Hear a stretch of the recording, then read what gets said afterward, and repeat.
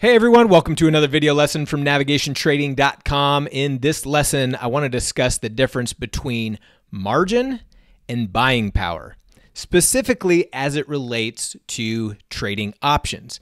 Now, you may have heard the term margin used in a different capacity, such as being able to buy stocks on margin or sell stocks on margin.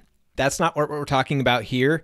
In this specific case, margin refers to simply as the amount of capital required in your account to trade a specific strategy or position.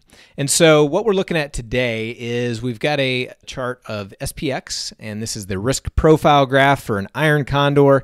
And you'll see on Thinkorswim right down here in the bottom right hand corner, it says margin required. And so what you're going to see is it says $3,000.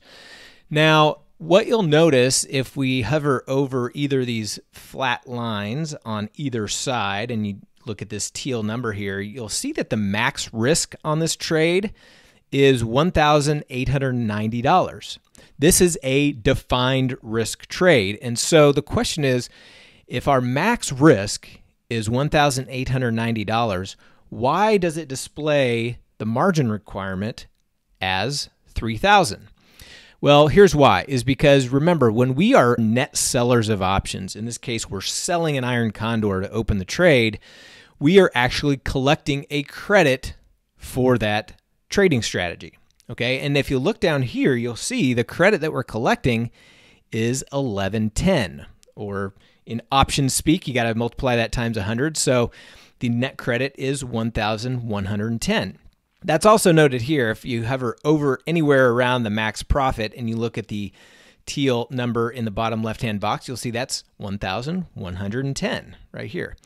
And so, what you've got to do to figure out the difference between the margin required and the actual buying power required is take the margin minus the credit received.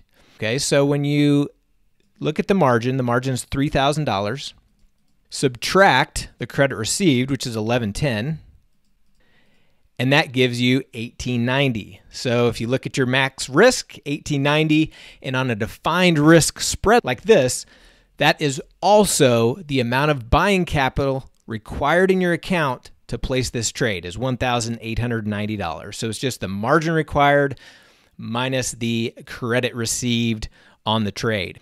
Now, this is a defined risk strategy. And so that's pretty easy to figure.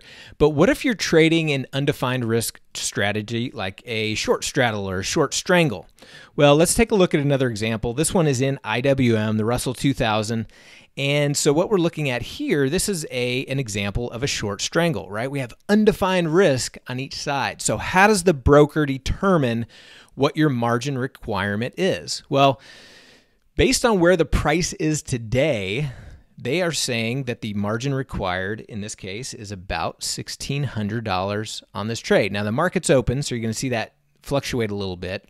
But keep in mind, when it comes to an undefined risk trade, that margin requirement can change throughout the life of the trade. So if I click and drag this vertical line, look at what the margin requirement does.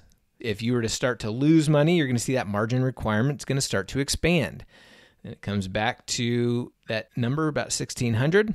And then if we move it over here, if we're losing money on this side, you'll see it starts to expand as well.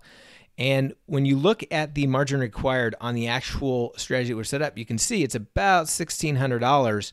And, and that's where price is right there. But if I'm moving the hash mark to give me a theoretical idea of what my margin requirement would be at different levels, that's where you see that number change. And that's where you can get a, a theoretical idea of where that margin requirement might be based on what happens in your trade throughout the life of the trade. So, on an undefined risk trade, that margin requirement can change. Going back to the, the Iron Condor example, it's the same thing though from a standpoint of how do you look at buying power versus margin? You've got a margin required of $1,600, but we're collecting $4.40 or a max profit of $440. And so you just take that 1603 1603 minus 440 and that gives you 1163. So that would be the approximate actual buying power. That's the approximate actual capital you need in your account to initiate this trade. Just remember, options are leveraged instruments. And so we always talk about in our courses, in our community, keep your position size small, especially especially if you're trading undefined risk trades. You know, if you're trading an iron condor, which is defined risk, obviously you know what your max risk is on that trade. So if things get crazy, you know exactly the maximum amount you can lose. On undefined risk, it's undefined, right? So you have to create that safety net. You have to protect yourself by keeping your position size super small so that you can manage even if there is a massive move in the market. One last point as it relates to margin requirement versus buying power, and that is if you are trading options on futures. So, for example, on this example of a short strangle in forward slash CL or oil, now the margin required minus the credit received is not necessarily the case if you're trading options on futures. Futures options use a completely different calculation for determining your overall margin requirement if you are trading undefined risk trades.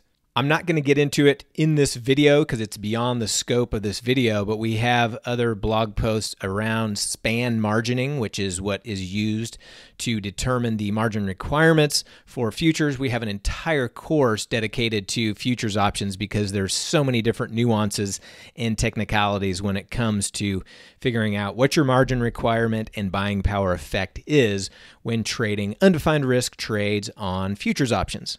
I hope this lesson has been helpful. If you have any other questions, feel free to drop us a line in our community at community.navigationtrading.com. See you there.